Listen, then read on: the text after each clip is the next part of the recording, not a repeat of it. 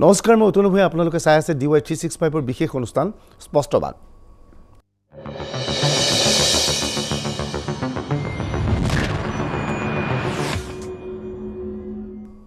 ইতিমধ্যে অসম মন্ত্ৰীসভাৰ সম্প্ৰসাৰণ হৈ গ'ল আৰু মন্ত্ৰীসভাৰ বিভিন্ন মন্ত্ৰীক দপ্তৰ দি দিয়া হ'ল।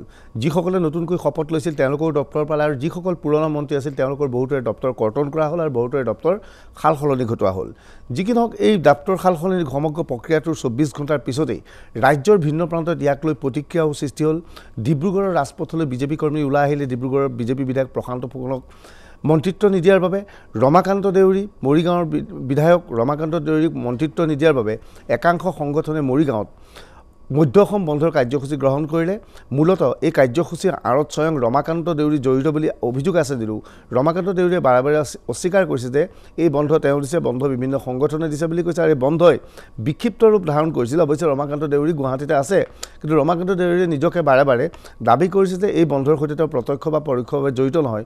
অৱশ্যে মন্ত্ৰীসভাৰ প্ৰতি তেওঁ ইচ্ছা ব্যক্ত কৰিছিল আৰু তেওঁ লগতে কৈছিল যে এদিন মন্ত্ৰী হ'ম বুলি আশা কৰিয়েই তেওঁ তিৱা স্থায়ত্ব পৰিষদ বাদ দি বিজেপি বিধায়ক হিচাপে তেওঁ নিৰ্বাচনত প্ৰতিদ্বন্দ্বিতা কৰিছিল।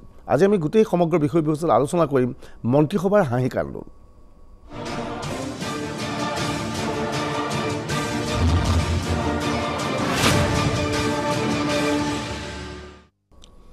এখন মন্ত্ৰীসভা গঠন হোৱাৰ পিছত বা এখন মন্ত্ৰীসভাৰ সম্প্ৰসাৰণ হোৱাৰ পিছত বা দপ্তৰ বিতৰণৰ পিছত স্বাভাৱিকতেই হাঁহি আৰু কান্দোনৰ সৃষ্টি হয়। একাংশ আনন্দিত হয় একাংশ দুখিত হয়। কাৰোবাৰ মন্ত্ৰিত্ব কটা হয় কাৰোবাক নতুন মন্ত্ৰিত্ব দিয়া হয় আৰু কোনোবাই মন্ত্ৰী হ'ম বুলি সপোন ভাবি থাকে কিন্তু তেওঁক শপত গ্ৰহণ অনুষ্ঠানলৈ আমন্ত্ৰণ জনোৱা নহয়। গতিকে এনে অৱস্থাত স্বাভাৱিকতেই অনুৰূপ এক পৰিৱেশৰ সৃষ্টি হয়। প্ৰশান্ত ফুকন প্ৰশান্ত ফুকনে যোৱা দুটা বছৰ ধৰি সম্পূৰ্ণ নিৰৱতা অৱলম্বন কৰিছিল। ইয়াৰ পূৰ্বে বিভিন্ন কাৰ্যসূচীত ভাগ লৈছিল প্ৰশান্ত ফুকনে। এটা সময়ত বিজেপিৰ নেতা বুলি ক'লে এজনেই ব্যক্তি আছিল প্ৰশান্ত ফুকন। অসম গণ পৰিষদৰ দিনতো তেওঁ ডিব্ৰুগড় সমষ্টিৰ পৰা বিজেপিৰ টিকেটত জিকি আহিছিল। কিন্তু সেই প্ৰশান্ত ফুকনে এতিয়া মন্ত্ৰিত্ব নাপালে। যোৱা দুটা বছৰ ধৰি প্ৰশান্ত ফুকনক টেলিভিশ্যন শ্ব'লৈ মাতিলে তেওঁ অংশগ্ৰহণ কৰাৰ পৰা বিৰত থাকে। ভুলত কিবা বেলেগ কথা ওলাই যায় বুলি কোনো কণ্ট্ৰভাৰ্চিয়েল কথা ওলাই যায় বুলি। কিন্তু সেই প্ৰশান্ত ফুকনক মন্ত্ৰীসভাত স্থান দিয়া নহ'ল। স্থান দিয়া নহ'ল অতুল বৰাৰ দৰে জ্যেষ্ঠ নেতাক স্থান দিয়া নহ'ল বহুতকে কিন্তু ইয়াৰ বিপৰীতে বহুত নতুন মানুহে স্থান পালে। এই সমগ্ৰ বিষয়বস্তু লৈ আমি বিতংভাৱে কথা পাতিম। আমাৰ লগত ষ্টুডিঅ'ত উপস্থিত আছে ইতিমধ্যে নতুন মন্ত্ৰী হিচাপে শপত লোৱা পীযুষ হাজৰিকা। পীযুষ হাজৰিকাই ইতিমধ্যে মন্ত্ৰীৰ দায়িত্ব লৈছে। ইতিমধ্যে মন্ত্ৰীসভাক লৈ বিভিন্নজনে বিভিন্ন দাবী উত্থাপন কৰি আছে। গোৰ্খা ছাত্ৰ সন্থাৰ পৰা দাবী কৰা হৈছিলে মন্ত্ৰীসভাত কোনো ধৰণৰ গোৰ্খা প্ৰতিনিধিক স্থান দিয়া নহয় গোৰ্খা ছাত্ৰ সন্থাৰ সভাপতি প্ৰেম তামাং আমাৰ লগত উপস্থিত আছে। আমাৰ লগত কিছু সময়ৰ পিছতেই উপস্থিত থাকিব বৰাক উপত্যকাৰ বিজেপিৰ বিধায়ক আমিনুল হক লস্কৰ তেওঁ ইতিমধ্যে প্ৰতিক্ৰিয়া ব্যক্ত কৰিছে যে মুছলমানক প্ৰতিনিধিত্ব দিয়া নহ'ল। তেওঁৰ সৈতে আমি পোনে পোনে কথা পাতিম কিছু সময়ৰ পিছত। আৰু ডিব্ৰুগড়ত আমাৰ উপস্থিত আছে আমাৰ সাংবাদিক ভাস্কৰ। ভাস্কৰে প্ৰশান্ত ফুকন তথা প্ৰশান্ত ফুকনৰ সমৰ্থকসকলৰ সৈতে কথা পাতিবলৈ চেষ্টা কৰিব। মই বোধহয় ভাস্কৰ লাইনত আছেই। ভাস্কৰৰ কাষলৈ যাব বিচাৰিম। ভাস্কৰৰ সৈতে আমি কিছু সময়ৰ পিছতে সংযোগ স্থাপন সমগ্ৰ বিষয়টোৰ ওপৰত আলোচনা কৰাৰ প্ৰাকমূলত আমি এখন প্ৰতিবেদন দেখুৱাই ল'ব বিচাৰিছোঁ যে কালি যি সম্প্ৰসাৰণ সংঘটিত হ'ল মন্ত্ৰীসভাৰ দপ্তৰ যি দিয়া হ'ল সেই সমগ্ৰ ঘটনাই যেন কাৰ্যত বি পি এফক অস্বস্তিত পেলালে। বি পি এফৰ পৰা বিজেপি কিছু দূৰত্বলৈ গ'ল নেকি? প্ৰথমতে চাওঁ হওক এক বিশেষ প্ৰতিবেদন। ডিপাৰ্টমেণ্ট লৈ পেলাই একো ৰিয়েকশ্যন আমাৰ দলৰ হোৱা নাই। যিখিনি পাইছে সেইটোৱে। আমি জাষ্ট কামহে কৰিব লাগে। প্ৰমীলা বাইদেউ হওক ৰেহন দৈমাৰী হওক বা আমাৰ চন্দন ব্ৰহ্মই হওক। গভমেণ্টে চি এম ছাৰে যিটো ডিপাৰ্টমেণ্ট দিছে ইয়াতে মানে চাফিচিয়েণ্ট বুলি আমি ভাবোঁ। আৰু আমাৰ কোনো ৰিয়েকশ্যন নাই। মুঠতে কাম হ'ব লাগে সেইটোৱেই ডিপাৰ্টমেণ্টৰ লগত কথা নাই।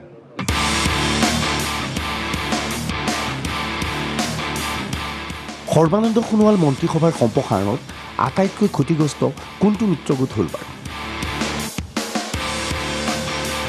আজিৰ তাৰিখত বিজেপিৰ মিত্ৰগোট হিচাপে আছে বি পি এফ আৰু অসম গণ পৰিষদ।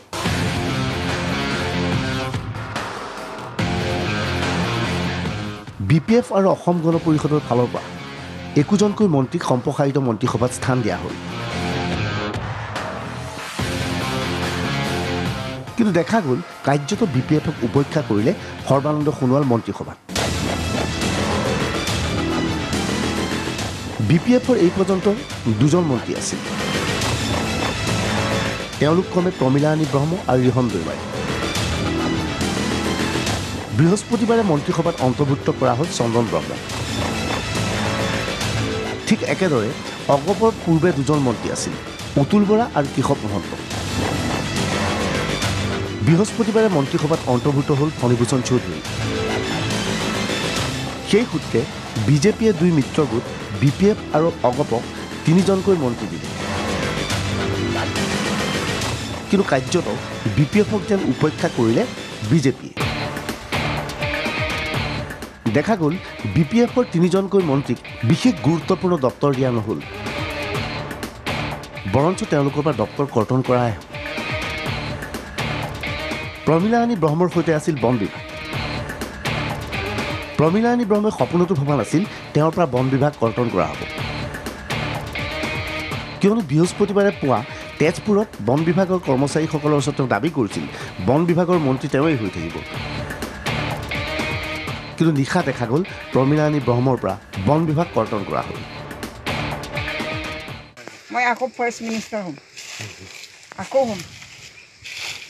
মই আকৌ ফাৰ্ষ্ট মিনিষ্টাৰ হ'ম আকৌ হ'ম মই আকৌ ফাৰ্ষ্ট মিনিষ্টাৰ হ'ম আকৌ হ'ম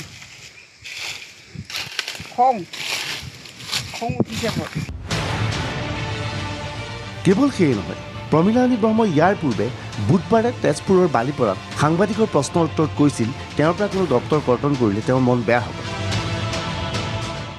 আক্ষেপটো অলপ থাকিবই আৰু অফিচাৰবিলাকৰ মাজত লগত একেলগে বহি পেলাই কাম কৰিছোঁ। তেতিয়াতো মানে এৰি দিব লগা হ'লে বেয়াটো নিশ্চয় পাম আৰু তেওঁলোকেও দুখ কৰিব। এই মোৰ পৰা লৈ যাব। প্ৰমীলাৰাণী ব্ৰহ্মৰ কামত সন্তুষ্ট নহয় সৰ্বানন্দ সোণোৱাল। বন বিভাগ ভালদৰে চলাব পৰা নাই বুলি ধাৰণা মুখ্যমন্ত্ৰী সোণোৱালৰ। সেয়েহে প্ৰমীলাৰাণী ব্ৰহ্মৰ পৰা এই দপ্তৰ কাটি আনি পৰিমল শুক্লবৈদ্যক দিয়া হ'ল। আচলতে পৰিমল শুক্লবৈদ্যৰ গড়কাপ্তানীৰ কাম কাজতো মুখ্যমন্ত্ৰী সন্তুষ্ট নহয়। গড়কাপ্তানী বিভাগটো হিমন্তক দিয়া হ'ল। কিন্তু পৰিমল শুক্লবৈদ্যৰ সন্মান ৰক্ষাৰ স্বাৰ্থতে প্ৰমীলাৰাণী ব্ৰহ্মৰ পৰা বন বিভাগ কাটি আনি পৰিমল শুক্লবৈদ্যৰ হাতত অৰ্পণ কৰা হ'ল। অৰ্থাৎ প্ৰমীলাৰাণী ব্ৰহ্ম এটা গুৰুত্বপূৰ্ণ দপ্তৰ হেৰুৱালে। ইপিনে ৰিহন দৈমাৰীৰ হাতৰ পৰা কাঢ়ি লৈ যোৱা হ'ল খাদ্য আৰু অসামৰিক সেৱাৰ দৰে গুৰুত্বপূৰ্ণ বিভাগ।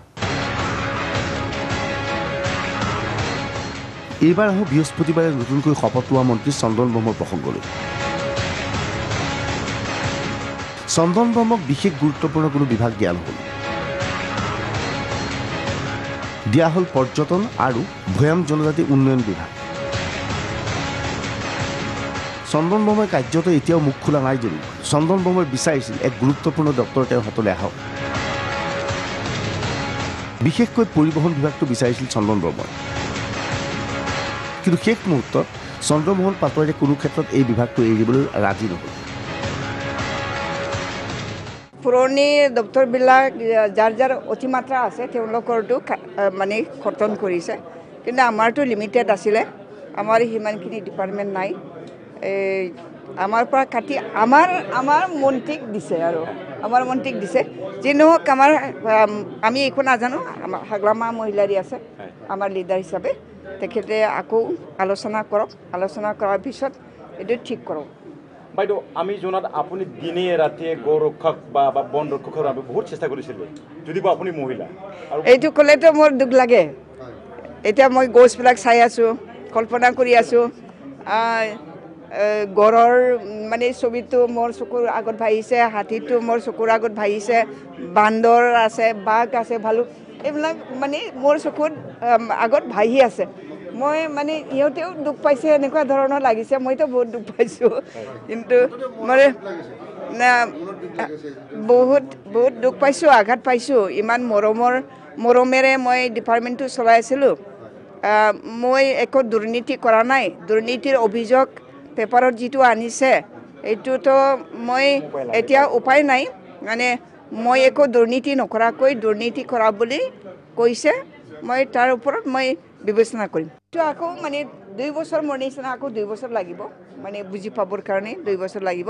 তেতিয়া ডিপাৰ্টমেণ্টৰ বহুত ক্ষতি হ'ব। বাইদেউ আপুনি এইবাৰ ফালে ছ'চিয়েল ৱেলফেয়াৰ এই ক্ষেত্ৰত আপুনি কেনেকৈ মনোযোগ না দিব? মই ভাল পাইছোঁ। ছ'চিয়েল ৱেলফেয়াৰো ভাল হয়। দুখীয়া দৰিদ্ৰ শ্ৰেণীৰ কাৰণে চিন্তা কৰিবৰ কাৰণে ইয়াত স্ক'প আছে যিবিলাক মানে হেণ্ডিকেপ হয় বিকলাংগ মানুহ বিশেষভাৱে সক্ষম মানুহবিলাকৰ কাৰণে কাম কৰিব পৰা যাব। সেইটোও পবিত্ৰ কাম বুলি মই ভাবি লৈছোঁ। তো এতিয়া এইটোও ভাল আৰু যিটো আন্তৰিকতাৰে মই লৈছিলোঁ ইমান সুন্দৰভাৱে কাম হৈছিলে সেইটো আঁতৰাই দিয়াটো মই দুখ দুখ পাইছোঁ আৰু। হা? সন্তুষ্ট অসন্তুষ্ট নহয় মই দুখ পাইছোঁ মানে মোৰ মানে নিজৰ কিবা বুকুটো মোৰ বুকুৰ কুটুমটো মোৰ পৰা আঁতৰি যোৱাৰ নিচিনা মই পাইছোঁ। ইয়াৰ বিপৰীতে অসম গণ পৰিষদলৈ চোৱা যাওক অসম গণ পৰিষদৰ দুই নেতা অতুল বৰা আৰু কেশৱ মহন্তৰ পৰা কোনো ধৰণৰ গুৰুত্বপূৰ্ণ দপ্তৰ কৰ্তন কৰা নহ'ল। অতুল বৰাৰ কৃষি বিভাগত কেলেংকাৰী সংঘটিত হৈছিল। সেই সূত্ৰে অতুল বৰাৰ পৰা এই বিভাগ লৈ যোৱা হ'ব বুলি ধাৰণা কৰা হৈছিল কিন্তু অতুল বৰাৰ পৰা কোনো গুৰুত্বপূৰ্ণ বিভাগ নিয়া নহ'ল। কেৱল নগৰ উন্নয়ন বিভাগ লৈ গৈ পীযুষ হাজৰিকাক দিয়া হ'ল। কেশৱ মহন্তৰ হাতত থকা জলসম্পদ বিভাগ কৰ্তন কৰা নহ'ল। অৰ্থাৎ অসম গণ পৰিষদৰ নেতৃত্ব সন্তুষ্ট কৰি ৰাখিলে সৰ্বানন্দ সোণোৱালে।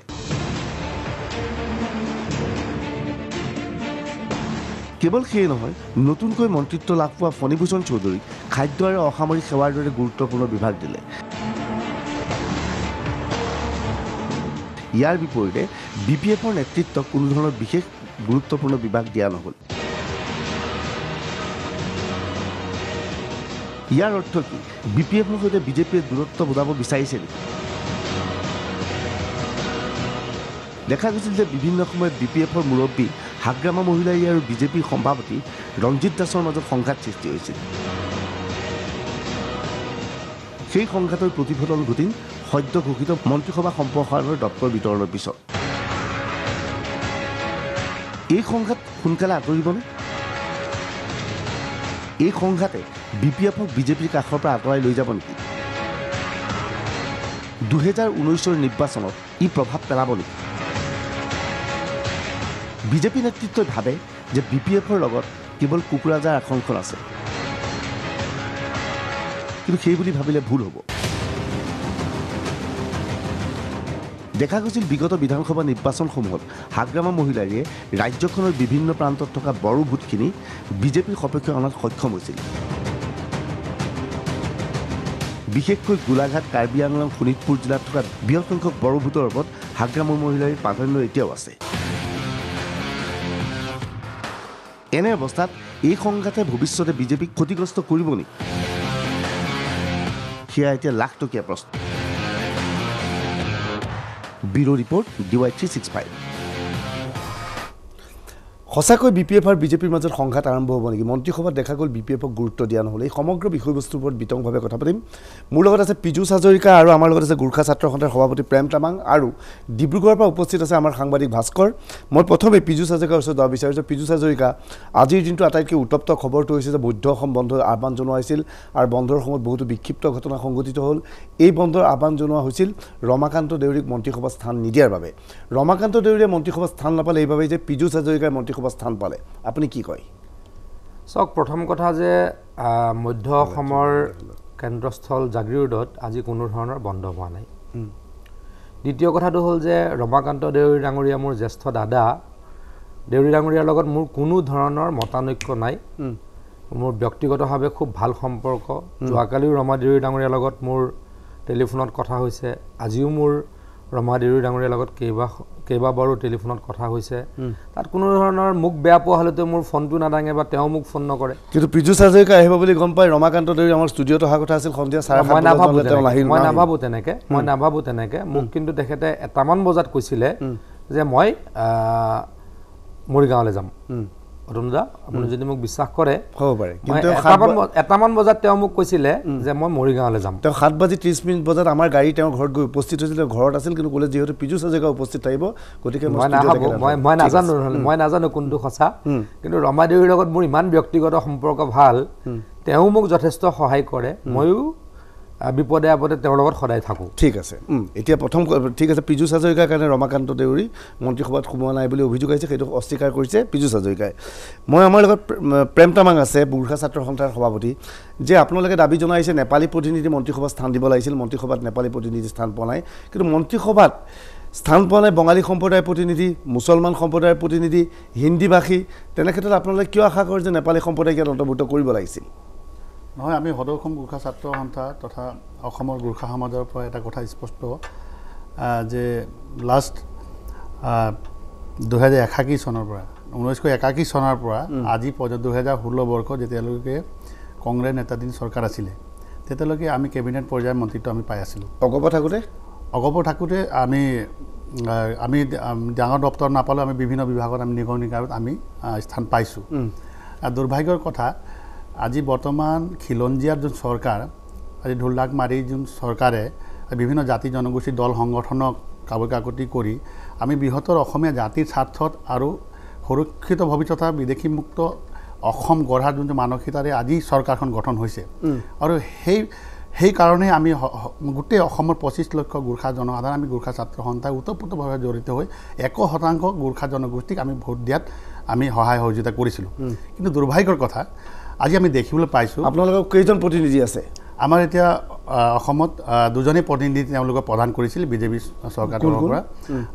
আমাৰ মাৰ্ঘেটা সমষ্টিৰ পৰা ভাস্কৰ শৰ্মা আৰু বৰচলা সমষ্টিৰ পৰা গণেশ লিম্বু। আৰু তেওঁলোকে দলৰ হৈ দুটা আমাক টিকেট প্ৰদান কৰিছিল। আমি তেওঁলোকক আমি আৰু তেওঁলোকৰ যি কিন্তু তেওঁলোক প্ৰথমবাৰৰ বাবে বিজয়ী হৈছিল। হয়। কিয় আপোনালোকে আশা কৰিছে প্ৰথমবাৰৰ বিজয়ী বিধায়কক মন্ত্ৰীসভাত স্থান দিয়া হ'ব? চাওক আমি দেখিবলৈ পাইছোঁ যোৱা বৃহস্পতিবাৰে মন্ত্ৰীসভা সম্পাদন কৰি তেওঁলোকে শপতনামা লৈছে। আমি দেখি পাইছোঁ বহু নতুন মন্ত্ৰীয়ে মন্ত্ৰীত্ব পাইছে।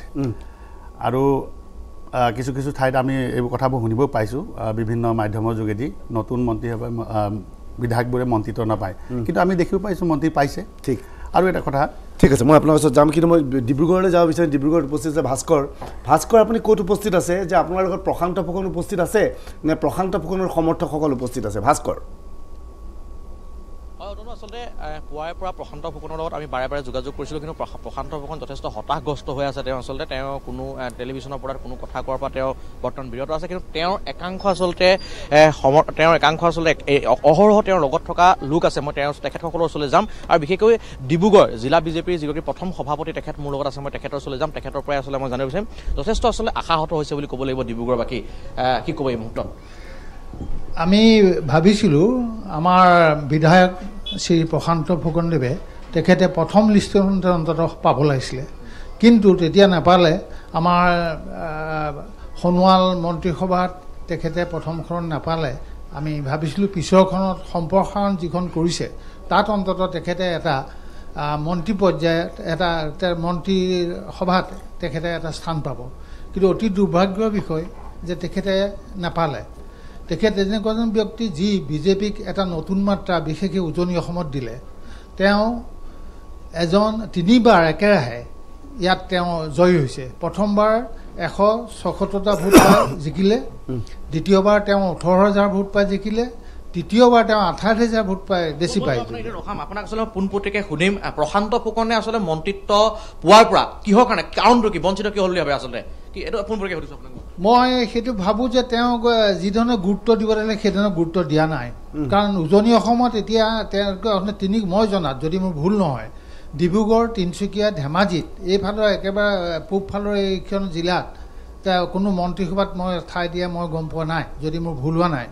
অন্ততঃ ডিব্ৰুগড়তে দ্বিতীয়বাৰ মানে প্ৰথম গুৱাহাটীতে বিজেপি প্ৰতিষ্ঠা হয় তাৰপিছত ডিব্ৰুগড় হয়। তাৰোপৰি ডিব্ৰুগড় এখন দ্বিতীয় প্ৰধান চহৰ। আচলতে যি সময়ত আপুনি কৈছে বিজেপি খুব বেয়া দিন চলিছিল সেই সময়ত প্ৰশান্ত ফুকনে বিজেপিক আচলতে সন্মুখৰ পৰা নেতৃত্ব দিছিল কিন্তু আজি দেখিবলৈ পোৱা গৈছে কালি যি আচলতে যিসকলক মন্ত্ৰিত্ব দিয়া হৈছে বহুত ন বিজেপি আচলতে তাত স্থান পাইছে কিন্তু প্ৰশান্ত ফুকনৰ নিচিনা আচলতে নেতাই স্থান নাপালে গতিকে আপুনি কি ক'ব? ভৱিষ্যতে আচলতে বিজেপিৰ পৰা ডিব্ৰুগড়ত কি আশা কৰে আচলতে? মই আমি ভাবোঁ যে এনেকুৱা ক্ষেত্ৰত আমাৰ কোনো আপত্তি নাই নতুনকো দিব লাগিব নতুন ব্লাডো আনিব লাগিব পুৰণিকো দিব লাগিব। অভিজ্ঞ ব্যক্তি প্ৰশান্ত ফুকনৰ নিচিনা এজন অভিজ্ঞ ব্যক্তিক যাৰ তিনিবাৰকৈ গৈছে যি কংগ্ৰেছ যি সময়ত ইয়াত জয় জয়ময় ব্যৱস্থা আছিলে ছয় চনত। তেনেকুৱা অৱস্থাত তেওঁ নিজৰ কৌশল আৰু নিজৰ একান্তিক প্ৰচেষ্টাত তেওঁ ডিব্ৰুগড়ত বিজেপিত জিকি তেওঁ তালৈ গৈছে। তো তেনেকুৱা এজন ব্যক্তিক আৰু তেওঁ পাব লাগিছিলে কিন্তু হয়। বিজেপি কৰ্মকৰ্তা আছে মই তেখেতৰ ওচৰলৈ যাম। আচলতে যথেষ্ট প্ৰশান্ত ফুকনৰ শিবিৰ আচলতে যথেষ্ট আশাহত হৈছে বিশেষকৈ ডিব্ৰুগড়বাসীয়ে যথেষ্ট আশা কৰিছিল। প্ৰশান্ত ফুকনে আচলতে মন্ত্ৰিত্ব পাব বুলি। কিন্তু কালি যেতিয়া আচলতে সকলো জল্পনা শেষ হ'ল কি ক'ব? এই মুহূৰ্তত আচলতে কি ক'ব? এই মুহূৰ্তত আমি ডিব্ৰুগড়বাসী হৈ অত্যন্ত দুখী আৰু আমাৰ কাৰণে আটাইতকৈ দু- দুৰ্ভাগ্যৰ কথা যে আমি এইদৰে আপোনালোকৰ আগত ক'ব লগা হৈছে। আজি একচুৱেলি আমি ফূৰ্তি কৰিব লাগিছিলে। কিন্তু এই মন্ত্ৰীসভাত স্থান পায় প্ৰশান্ত ফুকন কিন্তু ভাস্কৰ ভাস্কৰ তেওঁলোকে কিয় কি তেওঁৰ ভাবে নিচিনা প্ৰশান্ত ফুকনে কিয় মন্ত্ৰিত্ব নাপালে? তেওঁলোকে কিয় ভাবে? প্ৰশান্ত। ফুকনে কিয় মন্ত্ৰিত্ব নাপালে? ইয়াৰ কাৰণ কি? হয় মই সুধিছিলোঁ আচলতে সেই একেটা একেটা প্ৰশ্নকে আচলতে মূলত একা- একাংশ মহিলা আছে। মই তেখেতসকলৰ ওচৰলৈ যাম। কি- কি ক'ব? প্ৰশান্ত ফুকনে কিহৰ কাৰণে প্ৰশান্ত ফুকনক আচলতে মন্ত্ৰিত্ব দিয়া নহ'ল? মই প্ৰশান্ত ফুকনৰ যোগ্যতা নাই নেকি? কিহৰ কাৰণে আমি এতিয়া ক'ব নোৱাৰো। আমি চবে ভাল পাওঁ কাৰণে তো আজি তিনিবাৰ জিতিলে এতিয়া কিহৰ কাৰণে নিজিকিলে?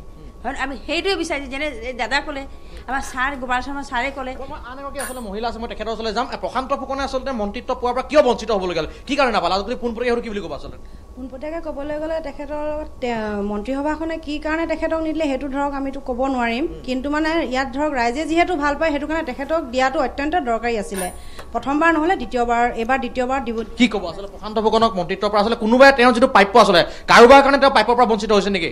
তেখেতে লোভী নয় কাৰণে সেইকাৰণে তেখেতসকলে মন্ত্ৰিত্ব পদ দিয়া নাই। আমি এইটোৱে ভাবিম। কি বুলি ক'লে আপুনি? তেখেতে লোভী নহয় কাৰণে তেখেতক মন্ত্ৰিত্ব পদটো দিয়া নাই। এটা কথা ক'ব লাগিব প্ৰশান্ত ফুকনক আমি শ্ৰদ্ধা কৰোঁ কিন্তু ভাস্কৰ, মই যে কালি ভাস্কৰ। তেওঁক মন্ত্ৰিত্ব দিয়া ভাস্কৰ মই আপোনাৰ ওচৰলৈ যাম মই ভাস্কৰ আপোনাৰ ওচৰলৈ যাম। পীযুষ হাজৰিকা আপুনি বিজেপিত নতুনকৈ যোগদান কৰিছিল আপোনাক মন্ত্ৰিত্ব দিয়া হ'ল। ভাস্ক এ, প্ৰশান্ত ফুকন তিনিবাৰকৈ বিজয়ী হৈছিল মন্ত্ৰিত্ব দিয়া নহ'ল। আপোনাৰ আক্ষেপ নাই এই ক্ষেত্ৰত? চাওক কথাটো যে কেনেকুৱা মুখ্যমন্ত্ৰী ডাঙৰীয়াই মন্ত্ৰীসভাখন বাছনি কৰে। আৰু নতুন মই প্ৰায় আঢ়ৈ বছৰতকৈ বেছি হ'ল বিজেপি দলত যোগদান কৰা। হয়।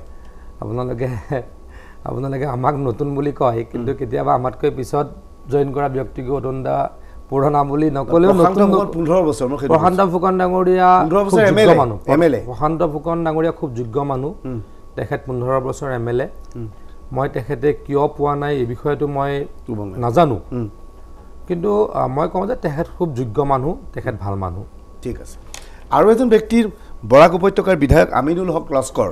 আমিনুল হক লস্কৰ বৰ্তমান তেওঁৰ দিছপুৰস্থিত বাসগৃহত আছে। আমিনুল হক লস্কৰৰ সৈতে মই পোনে পোনে কথা পাতিব বিচা পাতিম। লস্কৰ ডাঙৰীয়া বহুত বহুত ধন্যবাদ আপুনি সময় দিয়াৰ বাবে।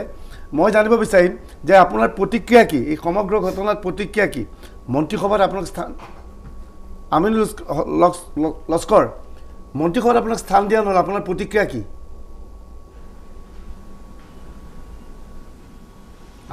আহ, আহ, দাদা অতনুদা চাওক আমি মন্ত্ৰিত্বৰ প্ৰত্যাশী নাছিলোঁ আমি মন্ত্ৰিত্ব দাবীও কৰা নাই।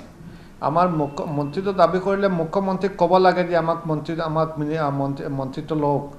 আমি আমাৰ ৰাজ্যিক ৰাজ্যিক নেতৃবৃন্দক আমি কোৱা নাই যে আমাক মিনিষ্ট্ৰীত ইনক্লুড কৰিব লাগে। আমি ৰাষ্ট্ৰীয় নেতৃবৃন্দকো আমি কোৱা নাই।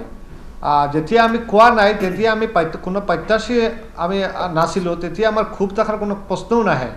কিন্তু কথা হৈছে ৰাইজে আমাৰ মুছলিম গোটেই মানে গোটেই ৰাজ্যৰ আমাৰ মুছলমান মানুহবিলাকে চাইছিলে যে যে ইটো মিনিষ্ট্ৰীত আমাৰ মাননীয় সৰ্বানন্দ সোণোৱালৰ এই মিনিষ্ট্ৰীত আহ, আসামৰ যিমানখিনি জনগোষ্ঠী আছে জনগোষ্ঠীৰ এজন এজন প্ৰতিনিধি আছে। আৰু এইটো আসামত প্ৰায় মানে থাৰ্টি ফ'ৰ পাৰ্চেণ্ট মুছলমান মানুহ আছে। আৰু এজন মানুহ যেতিয়া দলৰ পৰা জিতি আহিছে মুছলমান মানুহৰ আশা আছিলে যে এজন এজন মানুহ আমাৰ যেতিয়া দলৰ পৰা যেতিয়া আহিছে সেইজন মানুহে মন্ত্ৰিত্ব লোৱা হ'ব। যেতিয়া লোৱা হোৱা নাই তেতিয়াই আমাৰ মুছলিম মানুহবিলাকে অলপ দুখ পাইছে ক্ষোভ প্ৰকাশ কৰিছে। ইয়াত বঙালী নল'লে গোৰ্খা নল'লে হিন্দী ভাষী নল'লে তে মুছলমান নোলোৱাৰ বাবে খুব কিয়?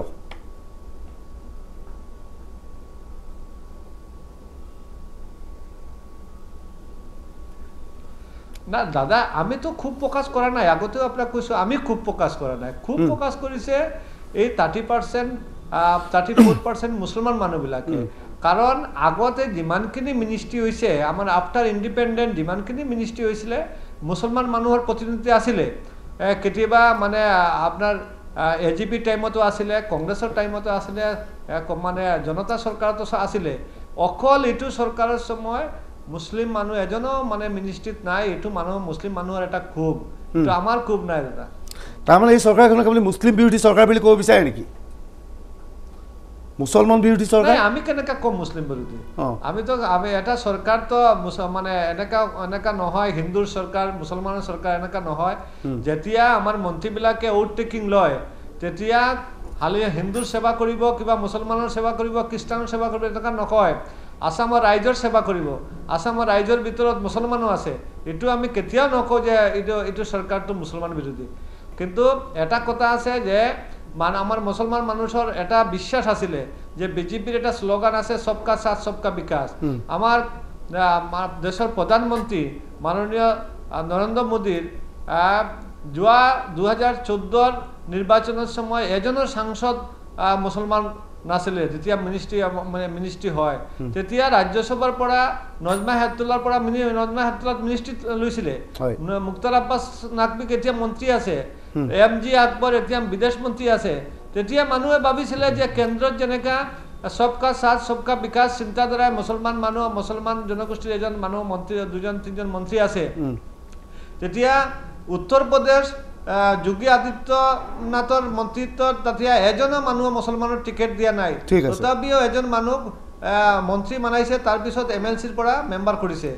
মণিপুৰত এজনো মানুহ মুছলমান জিতা নাই। এজন আহ, বিধায়ক নিৰ্দলীয় বিধায়কক আপোনাৰ সংসদীয় সচিব যাক কৰিছে গুৰুত্ব দিছে। তথাপি মানুহৰ আশা আছিলে যে যেতিয়া সবকা সাথ সবকা বিকাশ অন্যান্য ৰাজ্যত চলি আছে হয়। হ'ব। ইয়াৰ কাৰণে মানুহৰ বিশ্বাসটো ভংগ হৈছে। কাৰণে মানুহে প্ৰতিবাদ কৰিছে আমি প্ৰতিবাদ কৰা নাই। লস্কৰ ডাঙৰীয়া আপুনি অভিযোগ আহিছিল যে বিজেপি নেতা মমিনুল্লাহলে আপোনাৰ পৰা টকা বিচাৰিছিল। এই কথাটো কি? কিমান টকা বিচাৰিছিল কিয় বিচাৰিছিল? দাদা চাওক যেতিয়া দুহেজাৰ ষোল্লৰ ইলেকশ্যনৰ আগত মমিনুলাৱাল ভাৰতীয় জনতা পাৰ্টীৰ মাইনৰিটি মোৰ্চাৰ প্ৰদেশ সভাপতি আছিলে হুম। আর সিলেকশন কমিটিৰ মেম্বাৰো আছিলে মমিনুলাৱাল আমি একেলগত আছো কৰিছোঁ। একেই দিনত বিজেপিত জইন কৰিছোঁ ডিব্ৰুগড়। মমিনুলাৱাল লগত ভাল সম্পৰ্ক আছিলে আমাৰ। তেতিয়া মমিনুলাৱালে ক'লে যে আপুনি সোণাই সমষ্টিৰ পৰা টিকেট বিচাৰিছে। সোণাই সমষ্টিত বেলেগ এজনো বিচাৰিছে। এয়া সিজন মানুহে পাই যাব পাৰে। আপুনি এক কাম কৰক আপোনাৰ টিকেটটো মই কনফাৰ্ম কৰাই দিম। আমাক আমাক আপুনি পঁচিছ লাখ টকা দিয়ক। আমি চামাগুৰিত ইলেকশ্যন কালাম আমাৰ পইচা পাতিৰ দৰকাৰ আছে। তেতিয়া আমি কৈছিলোঁ যে আমি দুই হাজাৰ ছয়তো টিকেট চাইছিলোঁ। দলে কৈছিলে যে আপুনি নতুন জইন কৰিছে দলৰ কাম কৰক। দলৰ কাম কৰিছোঁ পাঁচ বছৰ নিষ্ঠাৰ সহিত দলৰ কাম কৰিছোঁ। দলৰ ৰাজ্যিক কমিটিৰ সম্পাদক আছিলোঁ। দলে যদি এতিয়া উপযুক্ত মনে কৰে টিকেট দিব আমি পইচা পাতি লি টিকেট নলওঁ ইয়াৰ কাৰণে আমি পইচা নিদিলোঁ। ইয়াৰ কাৰণে সি আমাৰ বিৰুদ্ধে সদায় অপপ্ৰচাৰ চলাই থাকে। আপুনি এই বিষয়ে সভাপতিক অভিযোগ কৰিছেনে? ৰাজ্যিক সভাপতিক আমি অভিযোগ কৰিছোঁ। ধন্যবাদ মমিলা হালদাৰ বহুত বহুত ধন্যবাদ লস্কৰ ডাঙৰীয়া বহুত বহুত ধন্যবাদ। এইখিনি মই এটা ল'ব লাগিব বাণিজ্যিক বিৰতি বাণিজ্যিক বিৰতিৰ পিছত আমাৰ আলোচনা অব্যাহত থাকিব। আমি স্পষ্টভাগত আলোচনা কৰি আছোঁ যে মন্ত্ৰীসভাৰ দপ্তৰ বিস্ফোৰণৰ পিছত বিভিন্ন মন্ত্ৰীৰ ক্ষোভ আৰু বিভিন্ন মন্ত্ৰীৰ হাঁহি আচলতে মন্ত্ৰীসভাৰ হাঁহি আৰু কান্দোন।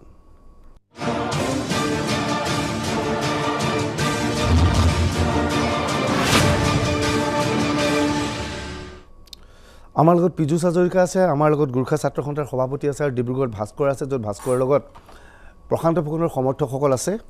আমি ভাস্কৰৰ ওচৰত কিছু সময়ৰ পিছত যাম মই পীযুষ হাজৰিকাৰ ওচৰত যাব বিচাৰিছোঁ যে পীযুষ হাজৰিকা বহুতে ক'ব বিচাৰে যে আপুনি মন্ত্ৰীসভাত স্থান দিয়াত গুৰুত্বপূৰ্ণ ভূমিকা পালন কৰিলে হিমন্ত বিশ্ব শৰ্মাই।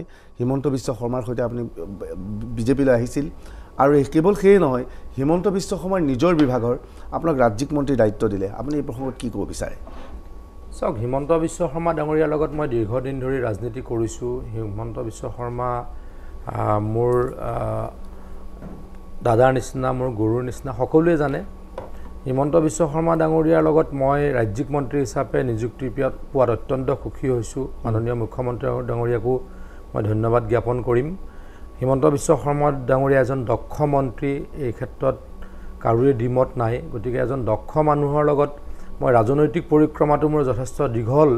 সেই ব্যক্তিগৰাকীৰ লগত যাক মই অত্যন্ত শ্ৰদ্ধা কৰোঁ মই চৰকাৰৰ কাম কাজো কৰিবলৈ পাম মানে মই যথেষ্ট শিকিবলৈ পাম বুলি মই উপলব্ধি কৰোঁ। গতিকে মই অত্যন্ত সুখী। এতিয়া আপোনাক যিটো আৰ্বান ডেভেলপ নগৰ উন্নয়নৰ এটা বিভাগ দিয়া হৈছে সেই বিভাগটো কাৰ্যত বিগত সময়ত অস্তিত্বহীন হৈ আছিল বুলি বিভিন্নজনে কয়। আপুনি তাক প্ৰাণ দিব পাৰিবনে? চাওক মই আজি যদিও আনুষ্ঠানিকভাৱে মই কাৰ্যালয়ত সোমোৱা নাই কিন্তু মই আনুষ্ঠানিকভাৱে আমাৰ ডিপাৰ্টমেণ্টৰ বিষয়া কেইজনমানৰ লগত বহিছিলোঁ। আমাৰ বিভাগটোত কৰিবলগীয়া যথেষ্ট আছে। আমাৰ চৰকাৰে ইতিমধ্যে যথেষ্ট ফাণ্ডো এলট কৰিছে হয়। আৰ্বান ডেভেলপমেণ্ট ডিপাৰ্টমেণ্টটোত। আৰু এই গোটেই ফাণ্ডখিনি আমি আঠসত্তৰখন মিউনিচিপালিটি আৰু টাউন কমিটিক দিবলৈকে পাৰিম। আৰু মই আশা ৰাখিছোঁ যথেষ্ট কষ্ট কৰিম যথেষ্ট ঘূৰিম। আমাৰ বাজেটত যিখিনি টকা আছে আমি অতি কমেও নব্বৈ শতাংশ আমি খৰচ কৰিবলৈকে চেষ্টা কৰিম।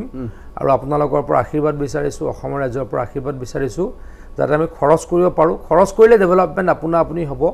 গতিকে মই আশাবাদী মই আজি মৰ্ণিং শ্ব'জ দ্য ডে বুলি কয়। মই আজি অলপ কথা পাতি যিটো গম পাইছোঁ মোক আমাৰ প্ৰিন্সিপাল ছেক্ৰেটেৰী অজয় তিৱাৰী ডাঙৰীয়াও কৈছে যে আমি অলপ কষ্ট কৰিলে পাৰিম।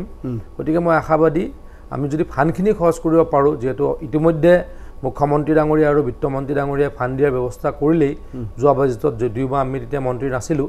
গতিকে ফাণ্ড যিহেতু আছে আমি যদি খৰচ কৰিব পাৰোঁ আমি যদি মিউনিচিপালিটিখিনিক আৰু টাউন কমিটিখিনিক দি দিব পাৰোঁ আৰু তেখেতলোকে যদি কামখিনি কৰে গতিকে ডেফিনেটলি ডিপাৰ্টমেণ্টটোৰ ভাল হ'ব আৰু ৰাইজৰো উন্নতি হ'ব বুলি মই ভাবোঁ। এই ডিপাৰ্টমেণ্টটোৰ লগত টাউনৰ ডেভেলপমেণ্টৰ কথাখিনি জড়িত হৈ আছে। এতিয়া মন্ত্ৰীসভাত এজন মন্ত্ৰীৰ স্থান এতিয়াও খালী আছে। যে স- সৰ্বানন্দখনলৈ এখন আসন এতিয়াও খালী ৰাখিছে। আমাৰ লগত থকা টাৱাং ডাঙৰীয়া আপোনালোকে বাৰে বাৰে গোৰ্খা প্ৰতিনিধিৰ কথা বিচাৰি আছে। যে আপোনালোকে দাবী কৰে যে সেই আসনখনত আপোনালোকৰ এজন প্ৰতিনিধিক দিব লাগে। আমি বিশ্বাসী সৰ্বানন্দ সোণোৱাল নেতৃত্বিত চৰকাৰে বিশেষকৈ সৰ্বানন্দ সোণোৱাল ডাঙৰীয়াই গোৰ্খা জনগোষ্ঠীৰ তৰফৰ পৰা এজন মন্ত্ৰিত্ব প্ৰদান কৰিব। আৰু আমি খুবেই আশাবাদী। গোৰ্খা জনগোষ্ঠীৰ ক'ত সংখ্যাগৰিষ্ঠতা আছে? কোনবোৰ অঞ্চলত এতিয়া অসমত আপোনালোকৰ প্ৰাধান্য আছে বুলি ভাবে? এতিয়া আমি অসমৰ প্ৰায় প্ৰায় জিলাবোৰত যেনে আপুনি ধৰি লওক শদিয়াত আমাৰ প্ৰায় পঞ্চাছ হাজাৰ ভোটাৰ আছে সমষ্টিটোত। হয়। মাৰ্ঘেটা সমষ্টিত প্ৰায় বিয়াল্লিছ হাজাৰ। আৰু আপোনাৰ চতিয়া সমষ্টিত প্ৰায় তেনে বিয়াল্লিছ তিয়াল্লিছ হাজাৰ আছে। তেনেধৰণে অসমত আমাৰ প্ৰায় পঞ্চল্লিছখন বিধানসভা সমষ্টি আছে য'ত আমি ডিচাইডিং ফেক্টৰ ঠিক।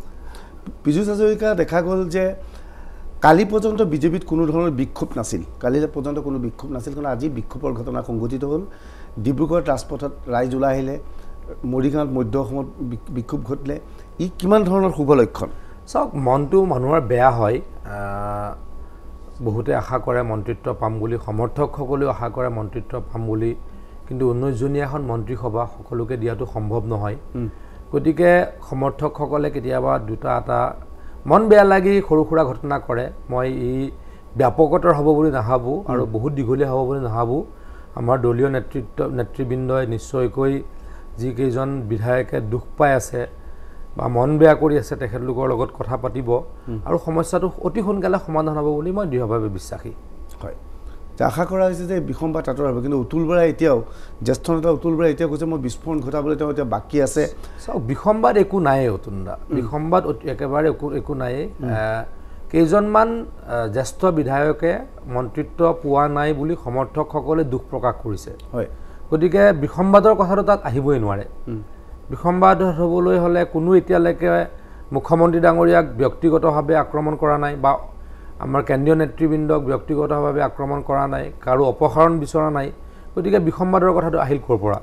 মই আকৌ কৈছোঁ যিটো হৈছে দলৰ সমৰ্থক আমাৰ বিধায়ক কেইগৰাকীৰ জ্যেষ্ঠ বিধায়ক সন্মানীয় বিধায়ক কেইগৰাকীমানৰ সমৰ্থকসকলে কৰিছে মন বেয়া লগাৰ কাৰণে মই ভাবোঁ ই এই ঘটনাটো অতি সোনকালে প্ৰশমিত হ'ব। তামাং ডাঙৰীয়া আপোনালোকে গোৰ্খা নেতাক মন্ত্ৰীসভাত স্থান দিবলৈ কৈ আছে নেপালী সম্প্ৰদায়ৰ লোকক। কিন্তু মই কৈছোঁ ইয়াৰ পূৰ্বেও নেপালী সম্প্ৰদায়ৰ নেতা মন্ত্ৰীসভাত স্থান পাইছিল কিন্তু তেওঁলোকে মন্ত্ৰীসভাত স্থান পাই নেপালী জনগোষ্ঠীৰ বাবে কিবা কৰিছিল জানো? নিশ্চয়। আজি দুহেজাৰ ষোল্ল বৰ্ষৰ আগৰছোৱাত যেতিয়া কংগ্ৰেছ চৰকাৰ আছিল তেতিয়া প্লেনিং ডেভেলপমেণ্ট মিনিষ্টাৰ আছিল উপাধ্যক্ষ আছিল অধ্যক্ষ আছিল টংক বাহাদুৰ ৰায়ডঙৰীয়া। আৰু অসমৰ প্ৰায়বোৰ জিলাত তেওঁ আণ্টাৰ ফাণ্ডৰ পৰা বিভিন্ন ধৰণৰ আঁচনি আমাক গ্ৰহণ কৰি গোৰ্খা জনগোষ্ঠীক তেওঁ উপকৃত কৰিছিল। আৰু অতি দুৰ্ভাগ্যজনক কথা বিগত সময়ছোৱাত কংগ্ৰেছ চৰকাৰে কেবিনেট পৰ্যায়ৰ আহ, দিয়া আহ, মন্ত্ৰী দিয়াৰ পাছতো বিভিন্ন ধৰণৰ নিগম নিকায়বোৰত তেওঁলোকে স্থান দিছিল গোৰ্খা জনপ্ৰতিনিধিৰ। লগতে আজি বি টি চি আছে। আজি বি টি চি প্ৰশাসন আছে তাত আমাৰ এম চি এল এ আছিল nominate M C L A. Karbi আংলঙত nominate M S C দুজনকৈ আছিল। তেনেধৰণে আজি কিন্তু অতি দুৰ্ভাগ্যৰ কথা এটি দুৰ্ভাগ্যৰ কথা বৰ্তমান। আমাৰ ৰামপ্ৰসাদ শৰ্মা ডাঙৰীয়া নেপালী সম্প্ৰদায়ৰ নেতা তেখেত বিজেপি দলৰ পৰা সাংসদ বৰ্তমানে হৈ আছে। নহয় নহয় আমি আমি ক'ব বিচাৰিছিলোঁ আহ, কাউন্সিলবোৰত আমাৰ নমিনেট মানে এম এছ চি আৰু এম চি এল এ দিয়াৰ যোনটো কথা। আজিৰ তাৰিখত কিন্তু কংগ্ৰেছ চৰকাৰে দিছিল আৰু বিজেপি চৰকাৰে আজি পৰ্যন্ত দিয়া নাই। আৰু লগতে গোৰ্খাত ডেভেলপমেণ্ট যোনটো কাউন্সিল কংগ্ৰেছ চৰকাৰৰ দিনত গঠন কৰা হৈছিল আৰু তেওঁৰ বাৰ্ষিক পুঁজিৰ পৰিমাণটো দহ কোটি টকা আছিল। কিন্তু দুৰ্ভাগ্যৰ কথা আজিৰ তাৰিখত বিজেপি নেতৃত্বাধীন সৰ্বানন্দ সোণোৱাল চৰকাৰে সেই পুঁজি পৰিমাণটো কমাই ত্ৰিছ লাখ কৰিলে। তো আমি এটাই কাৰণে আমি এতিয়া শংকিত হৈছোঁ আমি ক্ষোভিত হোৱাৰ কাৰণ আছে। আজি বিশেষকৈ ৰাজনৈতিক প্ৰেক্ষাপটত গোৰ্খা জনগোষ্ঠীৰ পৰা মন্ত্ৰী পোৱাটো এটা নীতিগত কথা হয়। আমি পাবই লাগে। কি জনগোষ্ঠী হিচাপত বা আমাৰ সংখ্যাৰ পৰিমাণৰ হিচাপত বা তেওঁলোকে ক'ব বিচাৰে যোগ্যতা নাই। আমি ক'ব বিচাৰোঁ গোৰ্খা জনগোষ্ঠী হিচাপে যোগ্যতা কেতিয়া হ'ব যেতিয়া কাম কৰিব। যোগ্যতা কেতিয়া হ'ব যেতিয়া কাম কৰিবলৈ পাব। আমি কোৱা নাই আজিৰ তাৰিখত যে বৰ্তমানৰ নেতৃত্বাধীন চৰকাৰক হোম মিনিষ্টাৰ লাগে কিবা লাগে। আমি বিচাৰিছোঁ আমি কেবিনেট পৰ্যায়ত সৰু এটা হ'লেও আমি মিনিষ্ট্ৰীটো আমাক লাগিব এইটো কথা খাটাং ঠিক আছে আমি এইখিনিতে ল'ব লাগিব এটা বাণিজ্যিক বিৰতি। বাণিজ্যিক বিৰতিৰ পিছত আমি ডিব্ৰুগড়লৈ যাবলৈ চেষ্টা কৰিম। প্ৰশান্ত ফুকনৰ সমৰ্থকসকলৰ কাষলৈ এতিয়া ল'ম এটা বাণিজ্যিক বিৰতি। আমি কথা পাতি আছোঁ মন্ত্ৰীসভাৰ লৈ। মন্ত্ৰীসভাৰ সম্প্ৰসাৰণ তথা ডক্টৰ বিতৰণৰ লগে লগে কাৰোবাৰ মাজত হাঁহি কাৰোবাৰ মাজত কান্দোন। মন্ত্ৰীসভাৰ হাঁহি কান্দোনৰ বিতংভাৱে কথা পাতিছোঁ।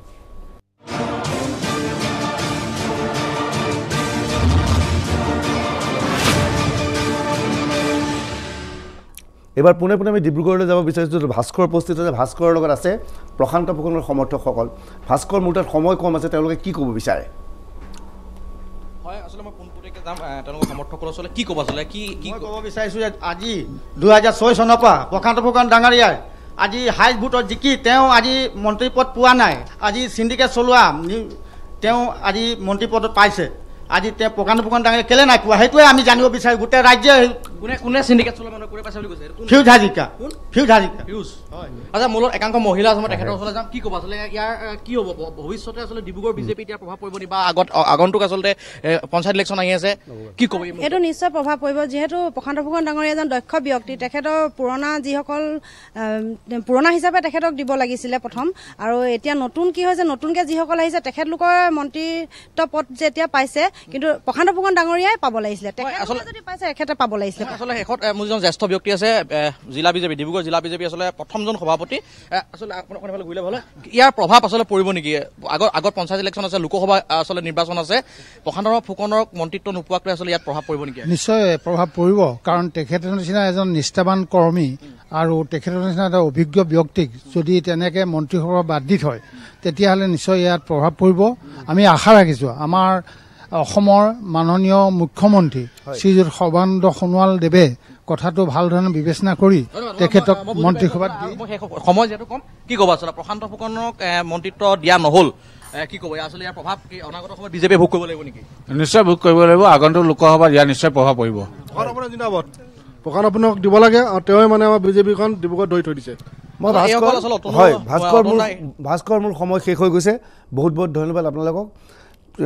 পীযুষ হাজৰিকা আৰু প্ৰেম তামাং মই আপোনালোককো সময় দিব নোৱাৰি মই অনুষ্ঠানৰ পৰা বিদায় ল'ব বিচাৰিছোঁ। কিন্তু বিদায় লোৱাৰ প্ৰাক মুহূৰ্তত কওঁ যে মন্ত্ৰীসভাৰ পুৰণা মন্ত্ৰীসভাৰ কেইবাজনো সদস্যৰ বিৰুদ্ধে কাম নকৰাৰ অভিযোগ আহিছিল আৰু কেইবাজনো সদস্যৰ দুৰ্নীতিৰ অভিযোগ ওলাইছিল বি- বিভাগ চলাব নোৱাৰাৰ অভিযোগ ওলাইছিল। সেই মন্ত্ৰীকেইজনক কিন্তু দপ্তৰ কৰ্তন কৰাত সক্ষম হ'ল।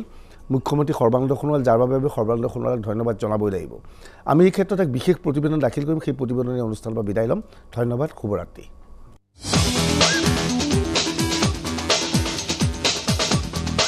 দুৰ্নীতিৰ বিৰুদ্ধে শূন্য সহনশীলতাৰ কথা কোৱা মুখ্যমন্ত্ৰী সৰ্বানন্দ সোণোৱালে মন্ত্ৰীসভা সম্প্ৰসাৰণৰ জৰিয়তে কাৰ্যত প্ৰমাণ কৰি দেখুৱালে দুৰ্নীতিক তেওঁ প্ৰশ্ৰয় নিদিয়ে। মুখ্যমন্ত্ৰী সৰ্বানন্দ সোণোৱালে মন্ত্ৰীসভা সম্প্ৰসাৰণ তথা দপ্তৰ সালসলনিৰ জৰিয়তে প্ৰমাণ কৰি দেখুৱালে অকমান্য মন্ত্ৰীক তেওঁ গুৰুত্ব নিদিয়ে। বৃহস্পতিবাৰে নিশা মন্ত্ৰীসভাৰ দপ্তৰ বিতৰণৰ লগে লগে এই কথা পোহৰলৈ আহিল।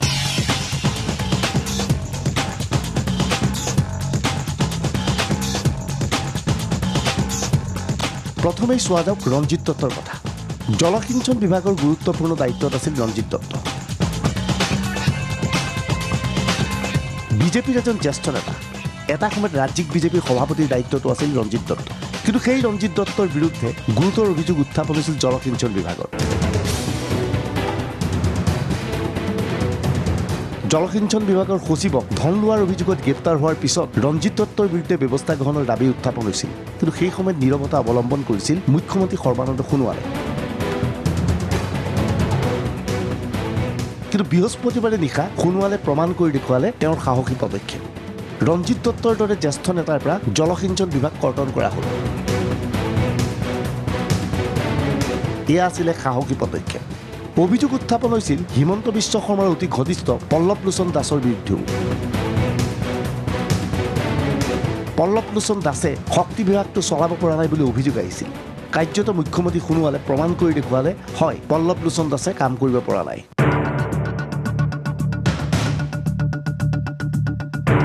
সেয়েহে হিমন্ত বিশ্ব শৰ্মাৰ ঘনিষ্ঠ স্বত্তেও পল্লৱ লোচন দাসৰ পৰা শক্তি দপ্তৰ কৰ্তন কৰি তপন গগৈৰ হাতত অৰ্পণ কৰা হ'ল।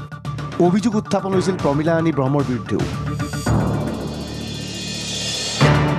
প্ৰমীলা ৰাণী ব্ৰহ্মই বন বিভাগ চলাব পৰা নাই বুলি অভিযোগ আহিছিল।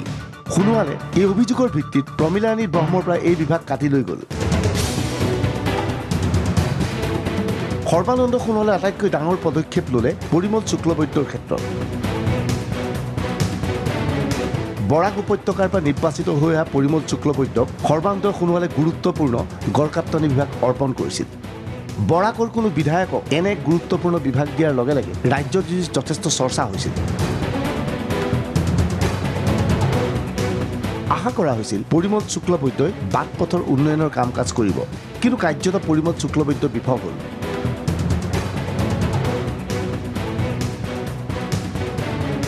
বিধায়কসকলৰ পুঁজিৰ বাবে গড়কাপ্তানি বিভাগৰ পৰা এক নিৰ্দিষ্ট পৰিমাণৰ ধনৰ আবণ্টন দিয়া হ'ল যদিও চহৰ নগৰ অথবা গাঁও ভূঞে ৰাস্তা পদূলিৰ উন্নতি কৰিব নোৱাৰিলে পৰিমল শুক্লবৈদ্যই।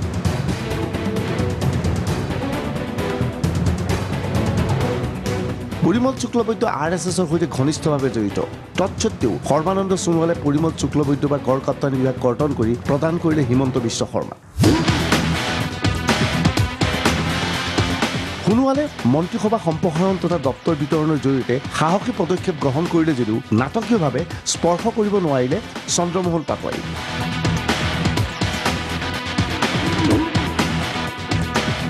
চন্দ্ৰমোহন পাটোৱাৰী পৰিবহণ বিভাগটো মুখ্যমন্ত্ৰীয়ে তেওঁৰ পৰা আনি আনক দিব বিচাৰিছিল যদিও পাটোৱাৰীয়ে ইয়াৰ বিৰোধিতা কৰিছিল। খবৰ মতে নতুন দিল্লীৰ পৰা সোণোৱাললৈ ফোন আহিছিল যে পাটোৱাৰীৰ পৰা এই বিভাগটো কৰ্তন কৰা নহয়। কাৰ্যত পাটোৱাৰী সফল হ'ল। এই মুহূৰ্তত দেখা গ'ল আটাইতকৈ শক্তিশালী ৰূপত থাকিল Chandramohan Patowary.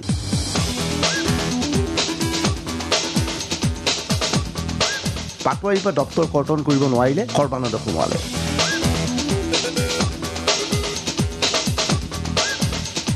Bureau report, D Y three six five.